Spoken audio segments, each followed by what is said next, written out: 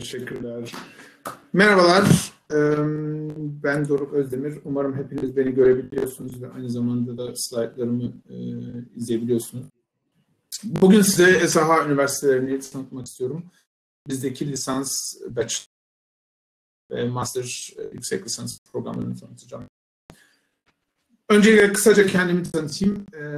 Ben İstanbul Erkek Lisesi sonrasında ODTÜ'de makine mühendisliği okudum. Aynı zamanda bir çılgınlık çift dal çift ana, çift ana sosyoloji okudum.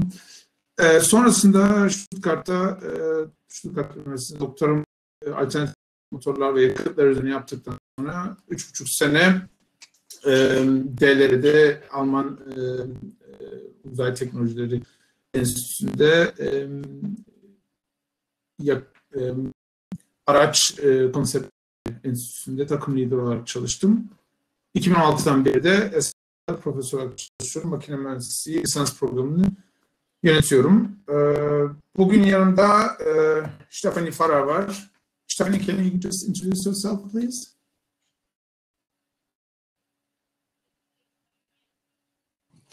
Hi, everyone. I'm Stephanie Farrar. Um, unfortunately, I'm not able to see the presentation because my bandwidth is too slow, so I will try to remember what is on my slide. I work in the international office of SRH University Heidelberg. Um, I'm a colleague of Professor Dr. Özdemir there. I attended SRH University Heidelberg in the International Business Bachelor program. I came as an international student myself from the USA, and I've been volunteering in the international office during my time as an international student, and later did my internship and now work full time doing uh, international marketing and recruiting, and also working in the international office of the university.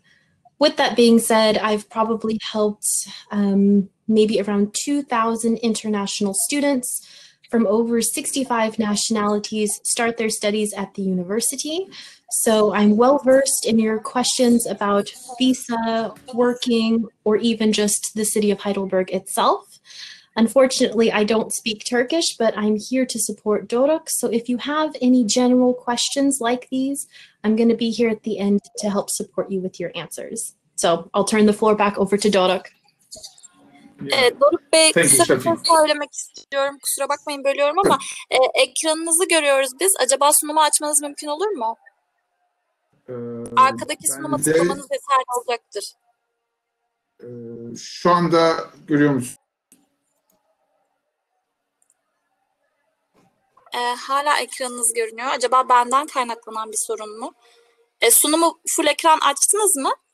Demin full ekran zaten. Ee, şu şekilde. Ben de şu anda full ekran ama Tamam ben bir kendi e, bağlantımı yenileyim. Belki benden kaynaklıdır. Siz devam edin lütfen sunumunuza. Okay. Bugün e, size anlatmak istediğimiz e, şeylerden öncelikle neden Almanya'ya gitmek istiyoruz?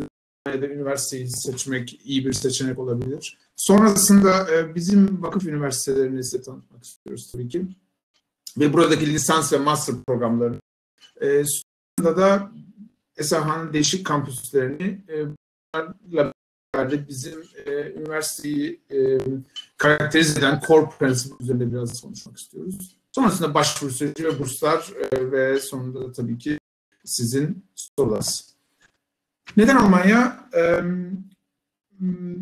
Öncelikle Made in kalitesi ile başlayabiliriz. Tabii ki ee, Doruk Bey tekrar bölüyorum Buyurun. kusura bakmayın. Ee, birkaç Tabii. tane yorum aldım ben şimdi ve herkesin ekranı siyah olarak görünüyormuş. Ee, sesinizi de duyamıyoruz açıkçası. Bir sorun mu var acaba sizin bağlantınızda? Ee, bir saniye. Ee, şu anda bir İsterseniz sayfanızı yenileyin yukarıdan e, sol köşeden.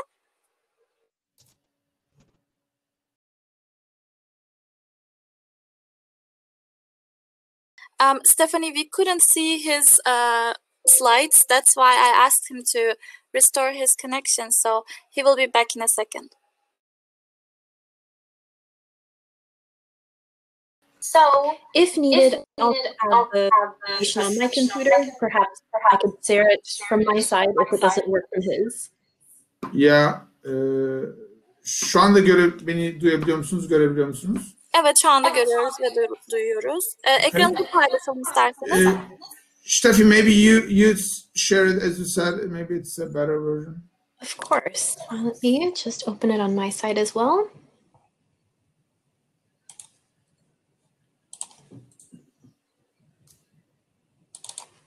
So apologies to the attendees. Um, we're also learning how to do these things online, so your patience is very much appreciated. I will enable screen sharing. So So perhaps mine works as well. And I believe you were talking about the core principle, if my Turkish is right. Yeah, you can go to the next one, and then the next one. Yes. Um, yeah, one before, please. One Before. Evet, burada kalmıştık. Neden Almanya? İkinci konu olarak e, Almanya'da herhangi bir üniversiteden mezun olduğunuzda 18 ay iş arama vizesine e, başvurabiliyorsunuz.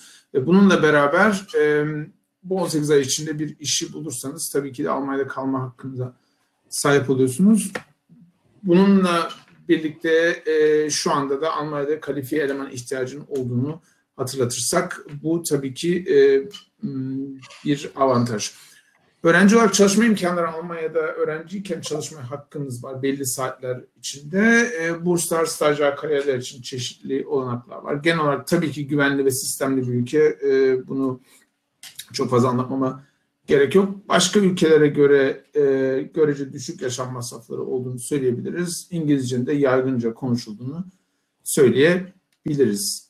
Steffi, can you go to the next one please? Of course. Em, bu slaytta size bizim em, vakıfımızın genel yapısını anlatmak isterim. E, SRH Holding, e, Stiftung Rehabilitation Heidelberg e, adında. Em, bu e, vakıf em, aslında İkinci Dünya Savaşı'ndan sonra kuruluyor ve em, ilk amacı insanları rehabilite edip tekrardan eğitim, e, tekrardan iş e, sistemine tekrar sokabilme üzerine kurulu. Mesela işte bir em, iş kazası geçirmiş bir, bir işçiyi mühendis olarak yetiştirip tekrardan kazandırabilme amacı ile kurulmuş. Şu anda yalnız e, bu ilk kuruluş e, fikri e, şu anda bizim fikrimiz yani bizim şu andaki çalışma prensibimiz bu, bu şekilde değil yani öğrencilerimizin yüzde 90'ı veya 95'i diyelim e, e, engelli insanlar değil ama bu tradisyonu, bu bu geleneği hala sürdürüyoruz ve bizde her üniversite, e, her bina hala e, e, engelsiz bina ol, olması bizim için çok önemli bir bir durum. Biz bunu hala e, içimizde taşıyoruz diyebilirim. Bu holdingin altında SAH üniversiteleri var. Bugün onlardan bahsedeceğim tabii. Ayrıca SAH okulları ve sağlık hastanelerimiz var. E, bu üç branşta SAH e, aktif durumda. Ben bugün tabii ki size sadece üniversitelerden bahsedeceğim. Next one please. Evet, burada size İngilizce lisans programlarımızdan bahsetmek istiyorum. Burada sağ tarafta e, SH üniversitelerinin olduğu, e, Almanya içinde olduğu e, şehirleri görüyorsunuz. Berlin, Dresden, Hamm, e, Wiesbaden, e, Karl Riedlingen ama merkezimiz Heidelberg'de Yıldız'da olarak gösterilmiş durumda. Soldaki e, resimde de İngilizce e, lisans programları, bachelor programlarının listesini görüyorsunuz. Burada e, üç konu başlığı altında bunları toplayabiliriz. Business Management, Computer Science, Art Design ve müzik olarak. Ve bunların içinde de hangi kampüs sizin daha çok ilginizi çekiyorsa onunla ilgili konulara bakabilirsiniz. Next one please. Bu e, slaytta da master programlarımızı, İngilizce olan master programlarımızı göstermek istiyoruz. Master'da daha fazla İngilizce e, opsiyonumuz var, daha fazla e, olanağımız var. E, bu programlar yine Heidelberg'de, Berlin'de, Dresden'de, Ham'da ve Ostrich-Winkel'da e, dağıtılmış durumda. E, sol tarafta da yine temaları görüyorsunuz. Business Management Law büyük bir tema. Etrafında gördüğünüz gibi e, epey fazla e, değişik yapabil, e, katılabileceğiniz master programları var. Terapi e, bilimleri, e, art design bilimleri, e, mühendislik ve teknoloji kısmı ve e, bilgisayar bilişim bilimleri e, olarak 4-5'e ayırabiliriz. Onların altında tekrar dediğim gibi her kampüste veya belirli kampüslerde bunlarla ilgili e, hangi programlar olduğunu buradan detaylı bakabilirsiniz. Next one please. Bu slaytta şu anda sadece Heidelberg'te olan Almanca lisans programlarını size e, göstermek isterim. E, tabii ki tahmin edersiniz ki diğer bütün kampüslerde de Almanca başka e, e, Almanca lisans programlarımız var. E, burada e, biz e, soldaki resimde bunları yine temalar altında e, toplamak istedik. Sol üstte sarı olarak görüyorsunuz e, was mention yani insanlarla ilgili. Sol altta kreatif e, meslekler, sağ üstte e, hukukla ilgili meslekler, teknik, e, bilişim e, ve ekonomi ve tabii ki e, bazı e, iş alanları veya bazı programlar bunların kesişimleri olarak e, görünebiliyor. O kesişimleri de buraya, burada görebiliyorsunuz. Next one please. Um, kampüslerin detayına geçmeden bizim için çok önemli olan bir sistemi e, size detaylı anlatmak isterim. Bu bizim e, başarılı olmamızın en önemli etkenlerinden biri. Bu sistemin adı CORE sistemi. E, CORE'un açılımı Competence Oriented Research and Education. Türkçe çevirsek beceri odaklı eğitim ve araştırma sistemi diyebiliriz. Beceri odaklı ne demek? Bu konuda birazcık birkaç dakika harcamak isterim. Bunu detaylı anlatmak isterim. Bologna prosesinden sonra yapılması, her üniversitenin yapması gereken bir proses vardı ki bu da bir dersi bir öğrenci gördüğünde sonrasında neleri yapabilecek olduğunu e, çok detaylı anlatılması ve bunun e, işte e, o modül el kitabına yazılması gerekiyor. Bunu her üniversite yapıyor. Buraya kadar bir şey yok. Biz bu kısmı gerçekten söylemek gerekirse çok ciddiye alıyoruz. Öğrencinin bu dersin sonunda ne öğreniyor, ne yapabiliyor olduğunu çok önemsiyoruz. Bu çünkü bizim için en önemli en önemli kısım. Bunu e, yapabilmek için yani öğrencinin yapması gereken şey e, ne, ne ise bunu ikinci stepte, ikinci adımda bunu ne yöntemle ölçebileceğimiz bizim için çok önemli. Bu ne demek? E, çok klasik bir örnek olarak işte bir proje yönetimi dersiniz varsa e, ve bu dersi eğer bir yazılı sınavla test ediyorsanız ee, sonunda test ettiğiniz şey aslında öğrencilerin e, ne kadar e, ezberleyebildiğini test etmiş oldunuz. Ama bu öğrencilerin bu bir projeyi e, yönetip yönetemeyeceğini aslında test etmediniz. Bizim amacımız mesela diyelim böyle bir dersimiz var, proje yönetimi dersi. Bu dersin sınavının bu dersin sonunda öğrencinin yapabileceği, yapması gereken şeyleri yap, e, gerçekten test edebileceğimiz bir şekilde olması. Yani e, eğer bir proje yönetimi dersiniz varsa bu dersin sınavı bizim e, fikrimize göre e, bir proje olmalı. Öğrenciler bir proje yapmalı ve sonunda bunu da sunmalılar.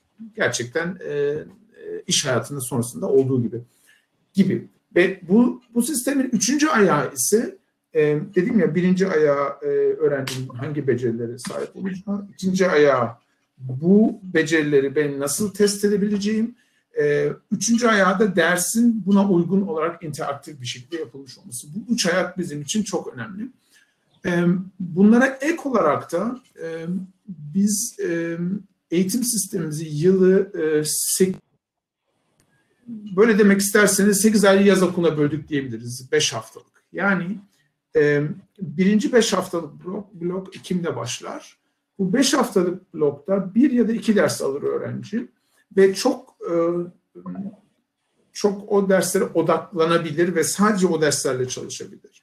Ve beş haftalık bu bloğun sonunda o dersin e, sınavı olur. Bu yazılı bir sınav olabilir, e, proje olabilir, bu bir sunuş olabilir, bu bir portfolyo olabilir. E, artık neyse gerekliliği o, o dersin. Ondan sonra bir sonraki derse geçilir ve o bir sonraki derse yine çok konsantre bir şekilde öğrenci çalışabilir. Fikrimiz bu. Bu bizim aynı zamanda e, proje odaklı çalışmamızı çok e, kolaylaştıran bir şey. Çünkü böyle yaptığımız zaman E, ben bir hoca olarak çok gönül rahatlığıyla biliyorum ki öğrencinin başka bir şey yok. Öğrenciye çok e, e, zorlayıcı ama çok da öğretici projeler verebiliyorum. Çünkü biliyorum ki bu beş haftada aslında yapacak başka hiçbir şey yok.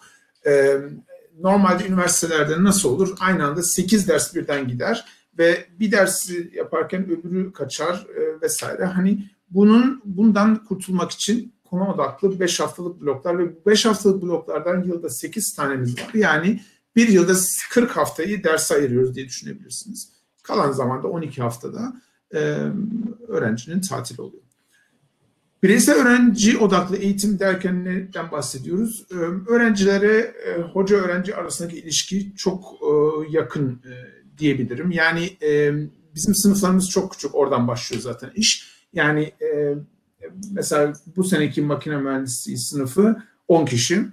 E, e tabii 10 kişilik bir sınıfta tahmin edersiniz ki benim bir öğrenciyle e, ilişkim e, işte 50, 60, 70, 80, 100 kişilik bir sınıfa göre çok daha farklı. Yani her e, üniversitede normaldir ki öğrenci hocanın ismini bilir ama tersi çok olmayabilir. Hani bizim e, üniversitede genelde bütün hocalar, bütün öğrencilerin de ismini bilir.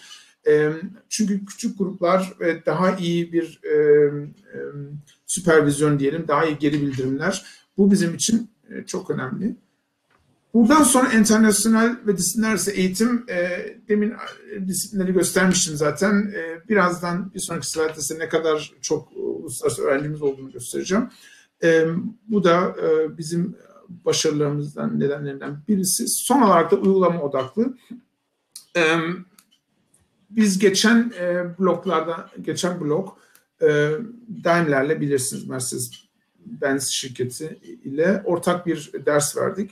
E, ders e, şöyleydi ki ben e, dersin teorik kısmını anlattım ama dersin sonunda öğrencinin yapması gereken proje Daimler'in o anki ihtiyaçlarından bir tanesiydi. Orada konak kontak, kontaklarımızla e, hatta bizim eski öğrencilerimizden biri orada e, çalışıyor. Onunla e, dersi beraber konsepsiyonunu yaptık. Yani Daimler kendi işine yarayacak bir e, görevi bize verdi dersin sınavı olarak. Biz ben dersin teorisini anlattım. E, dersin notlamasına Daimler'den insan iki kişi geldi. iki tane hoca bizden geldi. Dört kişi dersin e, notlarını öğrencilere verdik. Bu tarz e, endüstriyle e, yakından e, markaj diyeyim e, kooperasyonlarımız çok fazla oluyor ve bu bizim için çok e, bizi zenginleştirdiğini düşündüğümüz bir durum. Next slide please.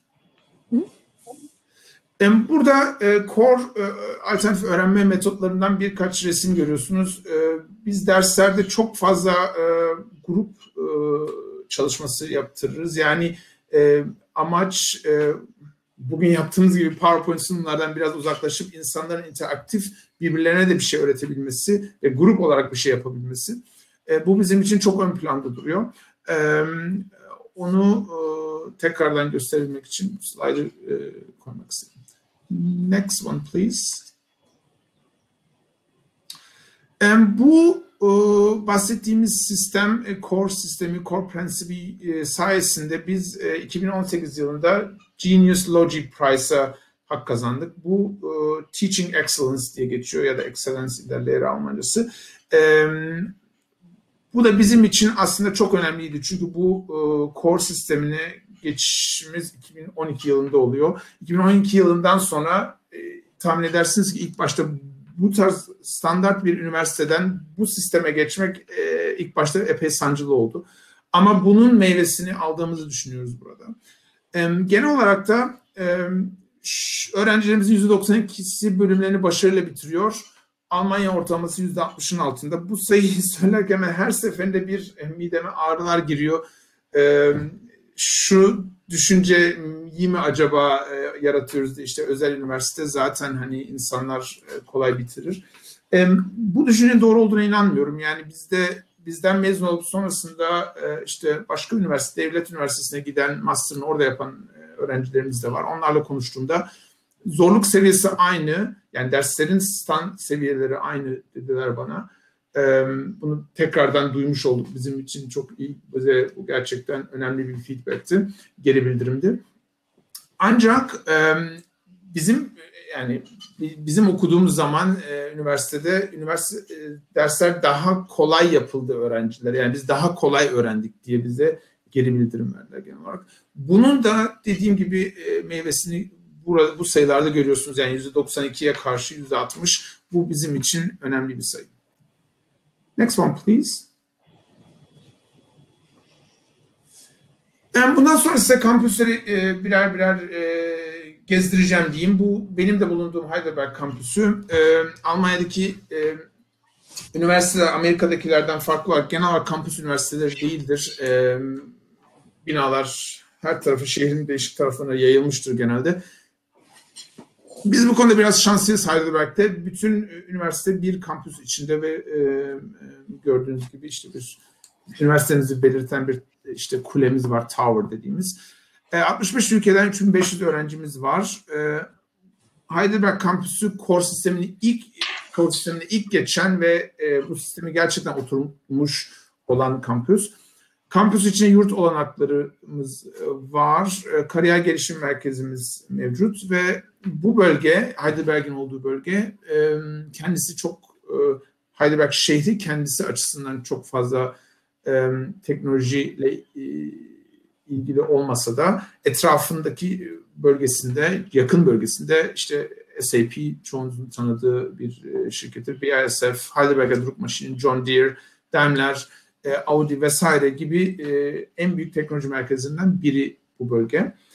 E, bu noktada size bir video göstermek istiyorum eğer teknik bize izin verirse. Steffi, can you just show this video, please, if it works? Yes. Okay, I'm going to have to unplug it, so let's see if you guys can hear it.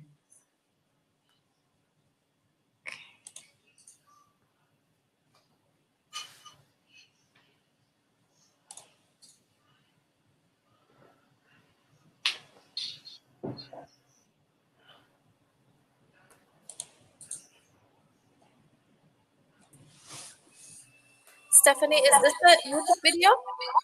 Yes, it yes. is. Uh, we don't see it on the screen. Can you share your screen from Actions, uh, enable screen sharing, and choosing the Chrome uh, option? Okay, I see what you're saying. Um, so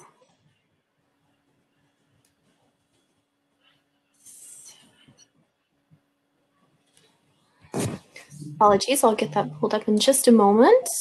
I forgot I had to show it in Chrome. Um, otherwise, we can share it as a link in the chat and then I can continue. Um, I think I've got it. Screen share. And here. Do you see the new screen? Yeah. Yeah? Okay. It's loading. Just a second.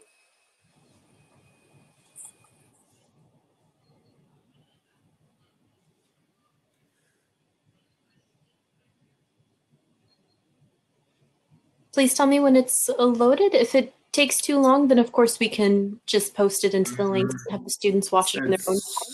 Yeah, it's not. No? Okay. Then maybe I guess we, we share well, it as a link. For me yes. it seems like it's loading, but maybe people can comment.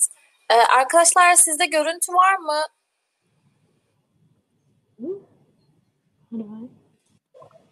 Sure, I will just drop it in the links because yeah. I want to make sure we have enough time I think this, this okay? is better, yes. yes. Okay.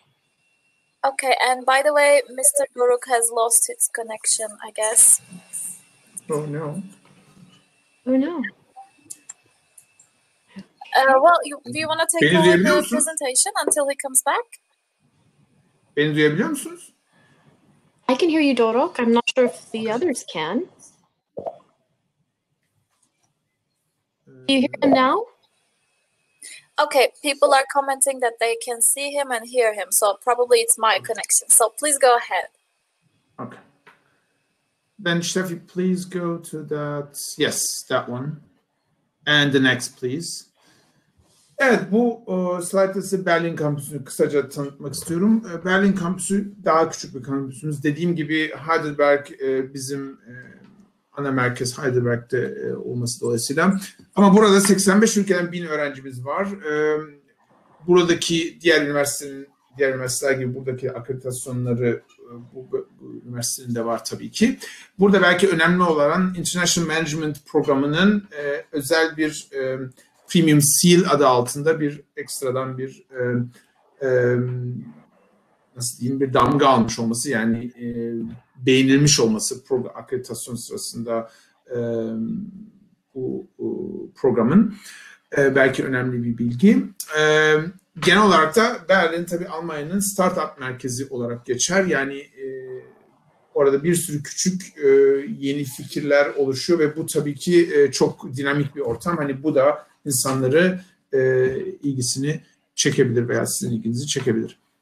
Next one please. Bundan ayrı daha küçük kampüslerimize geçeceğim. Şimdi Dresden kampüsü e, gördüğünüz gibi sayılarımız bir anda azaldı. 320 öğrenci. Yurt kalacak yer kolaylıklarımız burada var. E, şehir renkli, tarihi bir şehir. E, tabii fark edersiniz ki bu tarz şehirlere gittiğimizde yaşam masrafları tabii ki daha düşük olacak. Özellikle Doğu Almanya tarafında burada yaşam masrafının ciddi bir azalma göreceğiz. Next one please. Benzer bir şekilde Ham kampüsü de 700 öğrenci olmasına 730 öğrenci olmasına rağmen çok fazla uluslararası öğrencinin olduğu bir kampüs. 200'ün üzerinde e, oran olarak e, çok yüksek bu. E, Ham bulunduğu eyaletin lojistik merkezi olarak geçiyor. Bu bağlamda Ham kampüsü konularının içine lojistik ve business'ı daha ön plana çıkarmayı düşündür mantıklı olarak. Aynı şekilde Dresden'deki gibi burada da yurt ve kalacak yer kolaylıkları aynı zamanda da e, yine küçük bir şehir olması dolayısıyla görece düşük e, yaşam masrafları burada da e, next one please.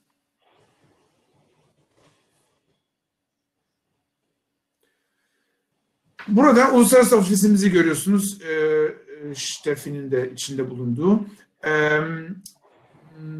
Uluslararası ofis e, hem uluslararası öğrencilerden hem bizim eski öğrencilerimizden Ştefi gibi e, oluşuyor ve e, amacı tabii ki de e, bize dışarıdan gelen öğrencilere yardımcı olmak. Birincisi işte karşılaştıkları e, bürokratik engeller varsa eğer onlara da yardımcı olmak. İkincisi e, yurt dışından gelen öğrencilerimize ilk sene özellikle Heidelberg kampüsünde bunu sunabiliyoruz ki ilk sene e, kalacak yerinizi garanti edebiliyoruz. Yani yurtlarda kalmak istiyor iseniz e, size bir yurt çıkmasını garanti ediyoruz.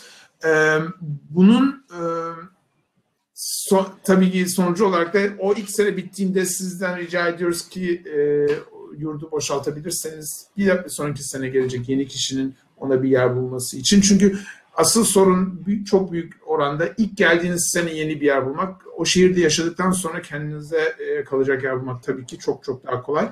Bunu düşünerek ilk sene e, öğrencilere böyle bir kolaylık sağlamayı çalışıyoruz.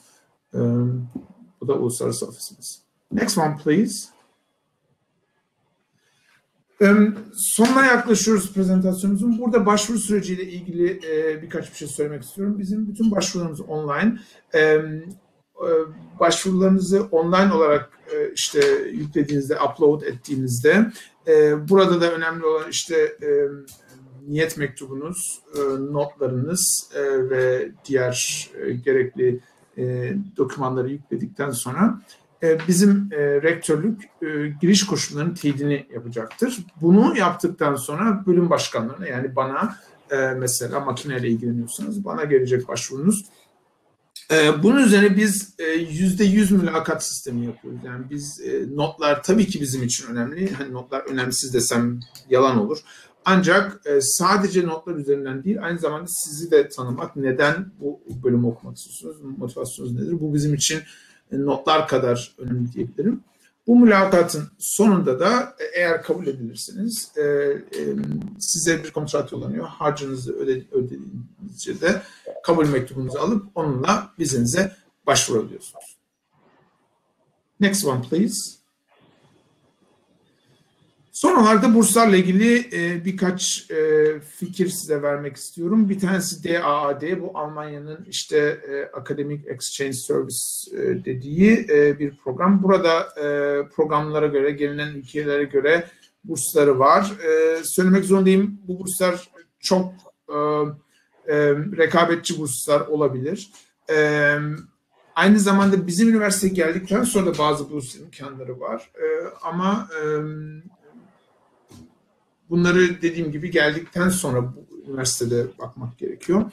E, ayrıca bizim üniversiteye geldikten sonra diyelim bir dönem veya bir sene e, başka bir üniversiteye gitmek istediniz. E, böyle bir şey tabii ki bütün e, üniversitelerde mevcut olduğu gibi bizde de mevcut Erasmus programıyla ya da Türkiye'de Erasmus programıyla bize gelebilirsiniz eğer Türkiye'de bir üniversitede okuyorsanız. Bu da tabii ki mevcut, mevcut e, mümkün. E, bunu yapan öğrenciler daha, daha önceden e, epey vardı. Dediğim genel olarak burs konusunda önceden davranmak çok önemli ve son dakikaya bırakmamak e, çok önemli. Next one please.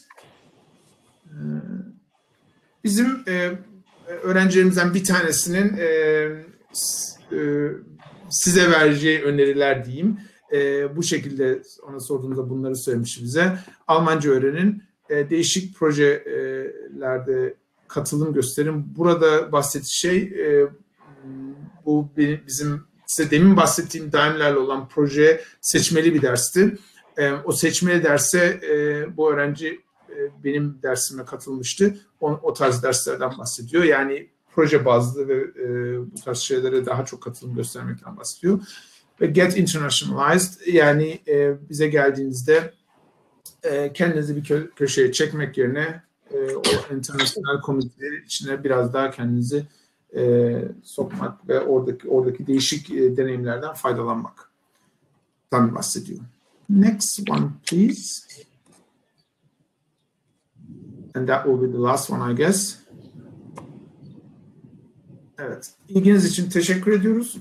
Ee, sorularınız varsa öncelikle buradan ya da chatten e, size sorularınızı sorabilirsiniz. Biz de cevaplayabildiğiniz kadar cevaplamaya çalışabiliriz. Eğer e, içerikle ilgili ise daha çok bana e, e, veya e, burslar konusunda daha çok Steffi'ye sonuçsunuz. Steffi sorularınızı cevaplamaya çalışacak.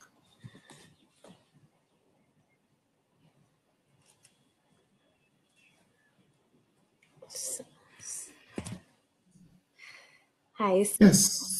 For the students, if you guys have any questions, we, we're here to answer them. And I'm also going to drop my email in the chat box. So if you guys, after this, have any questions, you can send directly to me a follow-up email.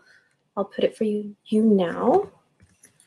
Yes, some people said that they cannot show the first slide, so we can also, uh, you can maybe write your email there, Steffi, and they can send you their email. They can send you an email and they, they can get the full presentation. There are a few questions on the questions tab. Can you click and see them? Oh, okay. I, I was looking to chat. Oh, me too. Okay, ilk soru için master programına kabul edebilmek için yaklaşık ne kadar bir GPA şartı isteniyor? Ee, şimdi burada tabii ki her master programı birbirinden farklı ama genelde e, minimum iki buçuk e, Alman sistemine göre isteniyor. Bunu Türk sistemine çevirdiğimizde o da yine galiba iki buçuğa denk geliyor. E, ama burada gerçekten her bölümün kendi kuralları var. E, e, bunu e, gerçekten e, bakmamız lazım. Yani e, Türkiye'den gelen öğrenciler için kabul şartı lisansın olması tabii ki ve e, kendi lisansının oradaki master'a uygunluğu önemli e, ve dil tabii ki yani e, özellikle bizim e, mühendislik kısmında ben mühendislik kısmına geldiğim için orayı daha iyi biliyorum. Mühendislik kısmında e, ki e, bütün masterlar İngilizce e, ama e, tabii ki Almanca masterlarımız da var mühendislik dışındaki bölümlerde. E, artık hangi bölüm isteniyorsa o bölümün e, Almanca veya İngilizce yeterlilik sınavının olması en önemlisi. E, onunla birlikte tabii ki lisans notları ve, e, programın uyumlu olması e, gerekli şart. İkinci soru, programlar İngilizce olmasına rağmen belli bir Almanca bilgisi isteniyor mu? Hayır. Eğer program İngilizce ise İngilizce, Almanca ise de Almanca belgesine ihtiyacımız var. İkisini birden istemiyoruz. Ama gördüğünüz öğrencinin söylediği gibi Almanca öğrenmek önemli. Yani Almanya'da ben her şeyi İngilizce ile hallederim diyebilirsiniz. Halledebilirsiniz de. Hatta bazen Türkçe daha çok işinize de yarayabilir. E, e, fakat e, sonrasındaki iş hayatı için Almancadan kaçınmayı önermem. Yani e, de, katıl, kabul edilmek için Almanca ihtiyacınız yok. Çünkü bütün dersler İngilizce olacak. Okuldaki Almanca e, ek derslerini tabii ki alabilirsiniz isterseniz e, ücretsiz olarak. E, ama sonrasındaki iş yaşamı için Almanca tabii ki önemli. Bu soruyu e, İB diploma programından kabul edilmek için IB'den e, 45 üstünden kaç puan almak gerekiyor? Bu soruyu çok cevaplayamayacağım. Belki bunu Steffi cevaplayabilir. Steffi, can you uh, just maybe answer this question with IB diploma? Uh, what should they have uh, to get accepted? I guess this is different for each uh, program. Uh, you are muted. Hi, everyone. Uh, there is specific requirements you need to apply at our university, and I do have an IB listing for you. However, I don't have it easily accessible on my computer at this time, so I can send it in the follow-up email for you, but I know that we do have specific requirements you have to meet from the IB school, but with an IB school, you have direct entry as long as you have taken all of those courses. So um, if you would maybe accept me sending it to you a little bit later, I can get it to you. Okay. Um, I'm going to the next question. Um, bir başka soru e, doktora programları için e, bir gereklilik sorulmuş. Bizim üniversitemizde ne yazık ki doktora e, pozisyonu açamıyoruz. Aslında doktora e, ile ilgili çalışmalar yapılabiliyor ama bu birazcık daha spesifik bir konu. E, doktoranızı başka bir üniversitede yapıp bizim üniversitede e, çalışabiliyorsunuz. Bu tarz konstelasyonlar e, daha önceden yapıldı, e, var. E, ama tabii biraz daha fazla organizasyon gerektiriyor. E, genelde Almanya'da doktora yapabilmek için e, bir profesörden e, kabul almanız gerekiyor. Bunu aldıktan sonra başka bir yerde veya o üniversitede çalışabiliyorsunuz. Ee, işte bu çalıştığınız yer başka bir üniversite ise mesela bizim üniversitemizde bir e, fakültede çalışıp diyelim başka bir üniversitede doktora yapan e, insanlar var ama e, dediğim gibi bunu ayarlamak biraz daha zor. Ee, IB üzerinden makine mühendisliği için kaç puan gerekiyor? I found yes. the document. I apologize. I was finding it a lot quicker than I thought. And again, I would still send it in a follow up email for anyone attending an IB school. Okay. So these are the. So that was also the question for the mechanical engineering. So uh, that's good. Okay. So I will. Um, diğer e, e, diğer soru teknik makine mühendisliği için TU München LMU tabii ki bu üniversiteler e, yani benim bu üniversiteler hakkında kötü bir şey söylemem düşünülemez. Yani e, bu üniversiteler hepsi çok değerli üniversiteler. E, bizim burada e, avant artımızı şu şekilde söyleyebilirim. Bizim buradaki artımız işte core prensibinde anlatmaya çalıştığım gibi bizim sınıflarımız e, küçük. Yani makine mühendisliğinin bu sene girenleri 10 kişi. Şimdi 10 kişilik sınıftaki bir eğitim e, durumunu düşünün. Bir de işte TEU e, Teknik Üniversitesi, Münih Teknik Üniversitesi'ndeki işte diyeseler ki 400 kişilik bir sınıfın e, hoca ile öğrenci ilişkisini düşünün. E, bu işte bizim artımız. Yani tabii ki e, TEU e, Teknik Üniversitesi Münih kadar e, bilimsel çalışmamız, bilimsel şeyimiz yok. Yani o, o başka bir e, taraf, o onu söylemek lazım. Ancak e, çok daha uygulamaya dayalı olduğumuzu düşünüyoruz ve öğrenciyle çok daha iyi bir iletişim olduğunu düşünüyoruz ve e, öğrenciye yardım çok daha kolay yardım edebiliyoruz ve bu bahsettiğim core prensibiyle e, ilgili mesela makine mühendisi için onu sorduğunuz için bir öneri daha vereyim. E, ben ODTÜ'de işten yanmalı motorlar dersini aldım. E, hayatta görüp görebileceğiniz en teorik dersti diyebilirim. E, bu kadar sene sonra ben e, makine mühendisliğinde işten yanmalı motorlar dersini ben verdim. E, e, sınav sistemi projeydi bizde. E, ve e, şu şekilde yaptık ki belki bilirsiniz onboard diagnostik diye bir sistem var. Her öğrenciye e, bir onboard diagnostik sistemi verdik ve e, kendileri e, kendi arabalarında veya bir arkadaşın arabalarına bunu takmalarını istedik ve e, üç hafta boyunca kendi veya başka tanıdıkları birinin e, araba kullanımını e, datasını topladılar. E, 300 kilometre mesela yol yaptılar ve 300 kilometre yol yapıp bunun üzerinden enerji harcamalarını kendileri hesapladı ve bununla gerçekten kaç ne kadar litre benzin harcamışlar karşılaştırıp böyle bir rapor sundular bize. E, dediğim gibi e, kendi üniversitemle karşılaştığımda ki yani ODTÜ e, Münih Teknik'le aynı seviyededir diye düşünüyorum kendi adıma.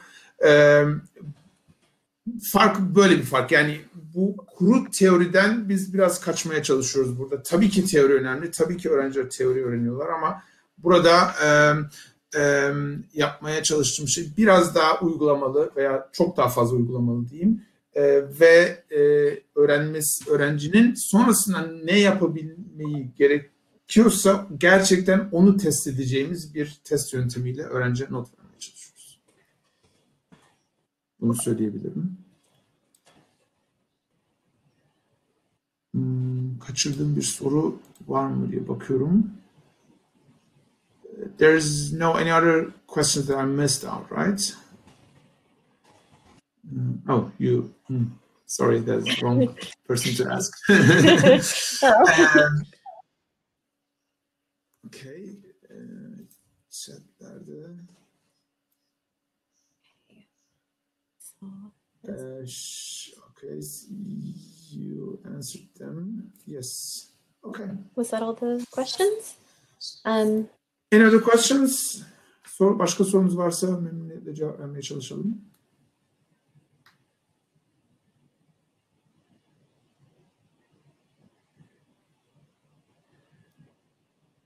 Okay, I didn't see anyone piping. Um, firstly, before we would close, I wanted to say thank all of you for coming today and listening to uh, mostly Doruk uh, present for you guys.